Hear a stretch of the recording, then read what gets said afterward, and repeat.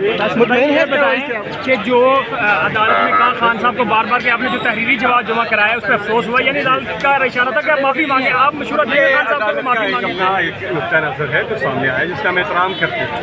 हमारे जो वकला हैं अब वो बैठेंगे। और इमरान खान साहब के साथ जब रेडी हो बताइएगा मशावरत के साथ वो अपना जवाब दाखिल कराएँगे। लेकिन यहाँ पर एक बात है कि इमरान खान कानून की बालादस्ती पर यकीन रखते हैं। अदलिया की जो एहतराम है उस पर भरपूर यकीन भी रखते हैं और अमला उन्होंने करके भी दिखाया दो हज़ार आठ में। अदरिया बहाली मूवमेंट जहाँ नवाज़ शरीफ जो हैं, गुजरावाला से पाई खाकर वापस चले गए थे, इमरान खान ने उस कैंपेन को आखिर तक लीड किया था और रेस्टोरेशन ऑफ़ जुडिशरी के अंदर बहुत बड़ा अपना किरदार अदा किया था। आज की जो अदालती कार्रवाई है, फैसल भाई, आप उससे कितने मुतमिन हैं? दोबारा जो है जवाब जमा कराने का कहा गया है चेयरमैन तरीके इंसाफ इमरान खान है। देखिए मुतमिन होना या नामुतमिन होना मेरे उससे तो कुछ नहीं होता ना।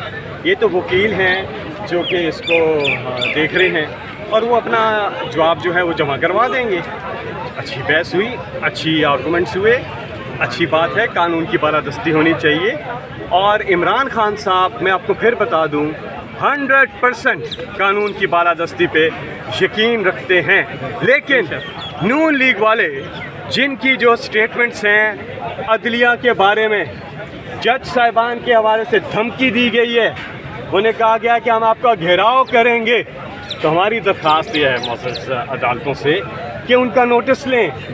अदालतों का एहतराम सब पर है। और और इक्वल ट्रीटमेंट भी नहीं। जो उन्होंने किया है, वो तो वो बात की है जो अदलिया के बारे में तस्वर भी नहीं कर सकते क्योंकि करे। इमरान खान ने जो बात की है, वो तो टॉर्चर के ख़िलाफ़ बात की है। बहरहाल, वो यहाँ पर केस चल रहा है।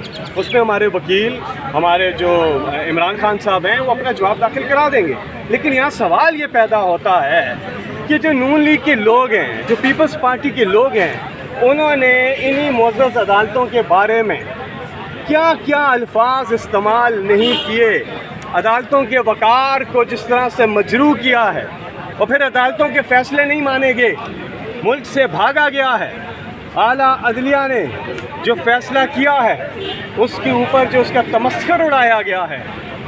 अदलिया की जो वकार है, वो तब बहाल होता है जब आप अदालतों के फैसलों को कानूनी तौर पे कंटेस्ट करें ना कि जीटी रोड पे निकल के अदालतों के बारे में बात करें। शुक्रिया जी। थैंक यू शुक्रिया